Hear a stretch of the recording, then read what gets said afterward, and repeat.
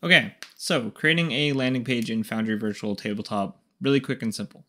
Things you're going to need modules. The ones that I'm going to use in this video are Monk's Active Tile Triggers, Trigger Happy, Forien's Quest Log, Lock View, and Simple Calendar. So the Forien's Quest Log is used for the quest portion of this little book here. Simple Calendar is used for this, and then Lock View kind of sets your bounding box and the other two are to set up the triggers for when you click things. So first things first, we'll set up our scene. So we'll go ahead and we'll create a new scene and I'll call this LP2, just for example, landing page two. I'll put that in my general scenes. Great. So setting it all up. Uh, show and navigation. I like everybody to be able to see this. You want to name it something convenient and obvious. So maybe you just call it landing page. So that way up at the top here, whenever a player wants to go to the landing page, they can just click on the landing page super awesome. The hardest part of setting up your landing page will definitely be setting up your background. Um, setting up your background involves kind of picking how you want your layout to be. So that's all the setup of the actual scene. So this one is kind of a wooden table with a book, some cards, a timepiece, two maps, and a candle, and some coins and a quill, whatnot. So to do that, you kind of want to use Photoshop or whatever art program you have at your disposal. I also added these little character card tokens so people could see their characters and we use that on our landing page. Next thing you want to do is go to your grid. We're going to set that to gridless because I don't use tokens on the landing page. Um, I guess you could if you wanted to. Personally, I don't. Token vision and fog exploration, we'll take both of those off because we're not going to use tokens, so we want the entire scene to be visible, and we're not using fog, so we don't need to have fog exploration.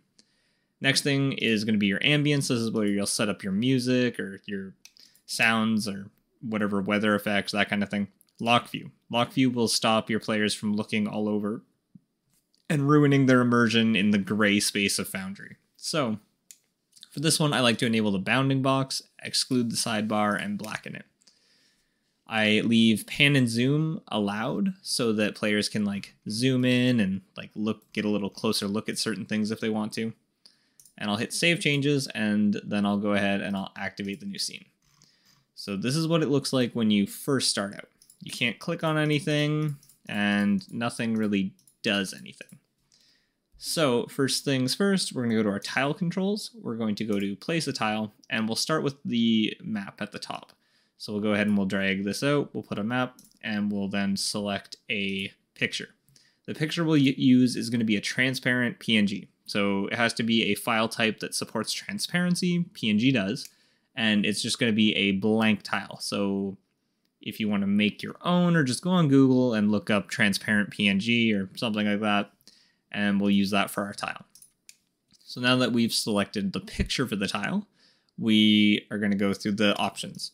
Overhead, we don't need to use this. Animation, we're not doing an animation. And triggers, this is where all the meat of the landing page is. So we want it to be active, so this is going to be able to be used. Uh, restricted tokens, we're going to allow everyone to use it. Controlled by anyone. And when is going to be on click. So when someone clicks on this, I want them to view the map.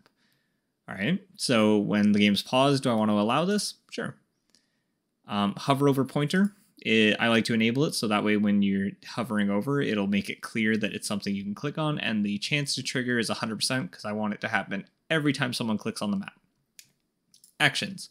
This is kind of where we set up the trigger for when you click on it, what happens. So we'll create a new action, and we want to change scene.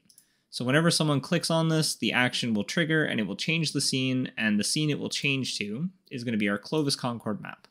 So over here in our map section, you can see that I've already set up the Clovis Concord map and the Empire map. And activate, you leave this one unchecked, because if you have it set to activate, that means that when someone clicks on this, it'll turn that map into the active scene, which will pull everybody to it. But if you leave it unchecked, and we'll go ahead and we'll create the tile, you can see here the landing page is the active scene. We click on the map, it'll pull us to the Clovis Concord map, but it doesn't make it the active scene. And that's really helpful for like keeping everyone where they want to be instead of having everyone be able to pull everyone else around with them. Awesome. So that's our first one. The second one is kind of the same thing. So you would just replicate those steps, but select a different scene. Uh, we'll move on to the character um, character sheet like opening tile. So we'll go ahead and we'll create a new tile. We'll make it on top of Crine here, one of the players in one of my games. And we'll go ahead and select the transparent PNG again. A lot of the same setup applies. Um, and we'll go ahead and allow everyone to use it. Doesn't matter who does it. And we'll set this one to on click as well. Allow it when paused, hover over pointer. And then for our actions, we'll do this one a little differently. This one will open an actor sheet. And you can see you can't click on here anymore to get a drop down. What you have to do instead is you want to select an entity. So we'll go over here, we'll go to our PCs so that we can see our character. And we'll select this little option here, which is select an entity, you know, kind of minimize stuff. But then you go and you click on the name and it'll populate that field. So, and then show to, we want this to be only shown to triggering player. So we'll update, create the new tile, and you can see when we hover over it, we get the mouse, and if we click, it'll pop open that character sheet. That is something that you would then replicate across all your character tokens or character images if you wanted that functionality. Now, this is kind of the basics of what you can do. The quest log is a similar thing. Um, the notes or the campaign notes is also the same. You would just create it, but instead of doing it for a change scene, you would have it open map. The quest log is a little different. It makes use of Forien's quest log, and I'll go ahead and just show that off on here. So if you click on here, it opens up that quest log. The way that works is this is just a picture. This one has no functionality. If I go over to the triggers and the actions, you can see it doesn't actually have an action. This is just here as like a visual aid, like this is the quest. If you go ahead and click on this main sheet, which is there's another active tile, it actually opens the quest log. And what that one looks like, if we go ahead and we open that one up, is you can see the triggers active on click. So whenever someone clicks on it. But what it does is it opens FQL quest log for triggering player. So that option is actually down here at the bottom. So if you scroll up here, these are the ones we were using for the change scene, and there's actually a bunch more. You can pause the game, you can run macros, you can do lights, sounds, whatever you want to do there's a lot of functionality you can do for your landing page, but this one's just open FQL quest log. The notes one is uh, very similar, but it's just open a journal, and then you would select it the same way you do the player character. You'd hit this little button, and you would go to your journal and campaign notes. So here, then here, and then update save. And when you click on that one, it'll pull open your campaign notes if you wanted to have something like that. The only one that's a little more complicated on my landing page is the um, simple calendar. So whenever anybody clicks on this timepiece, it'll actually pull open this calendar. And the way that's done is by a macro.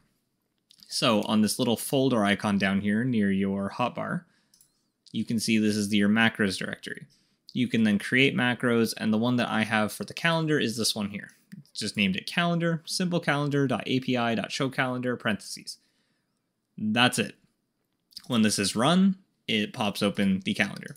So the way you would set that up is you would have your tile and you would go to your triggers and your on click still, but your action is a run macro action and then you would select the calendar like this.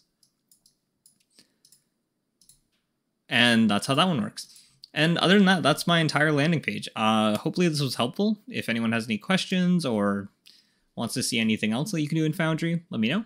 And yeah, have a nice day.